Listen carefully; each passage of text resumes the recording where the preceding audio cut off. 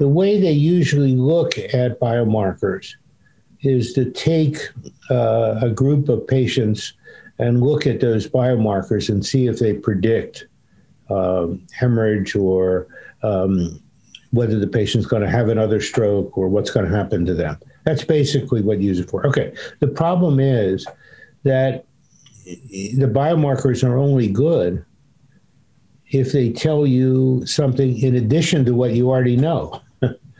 So, um, I mean, sure, you, if you have a patient who is paralyzed on one side and he can't talk, the biomarkers are going to show abnormalities, but you already knew that. It's no help to you.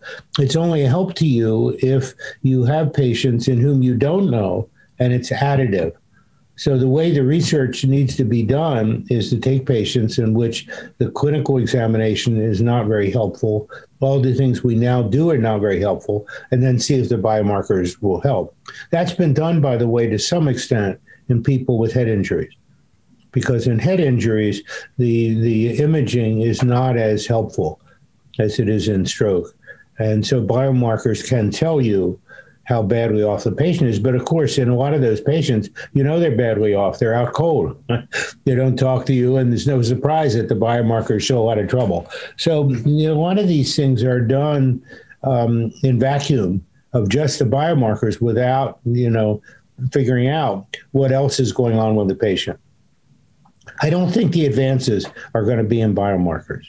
I just because the the technology and the ability to see the patient in detail with people who know about it um, is is now uh, sophisticated enough that the biomarkers to me don't really help very much.